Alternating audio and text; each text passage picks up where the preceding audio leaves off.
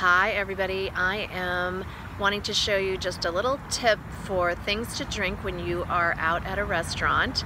And so I always get a soda water with a squeeze of lime and then I am going to add my mangosteen packet to it. So just give it like a little flavor. In fact, just like maybe a third or even a half of a packet.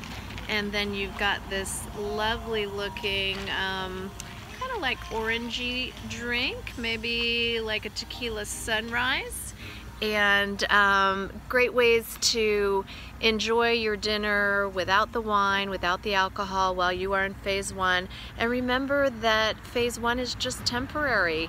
It's just like being pregnant. I always say if you, if I was pregnant and you handed me a glass of champagne, I would tell you you were crazy. So remember this is just temporary.